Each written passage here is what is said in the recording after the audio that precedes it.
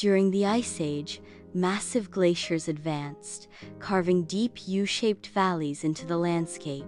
The immense weight and movement of the ice acted as a giant rasp, grinding down the granite. Glaciers transported vast amounts of rock and sediment, reshaping the terrain.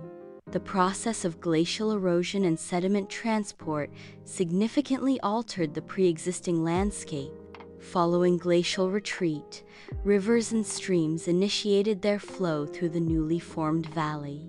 Over millions of years, the erosive power of water gradually deepened and widened the valley. River erosion sculpted the valley's features, creating riverbeds and waterfalls. The continuous flow of water shapes the landscape over geological timescales. Yosemite Valley's iconic landmarks, such as Half Dome and El Capitan, are the result of differential erosion. Varied rock formations exhibit differing resistance to glacial and river erosion. Resistant granite monoliths remain standing while surrounding areas were carved away by erosion. The formation of Yosemite Valley showcases the differential impact of natural forces over geological timescales.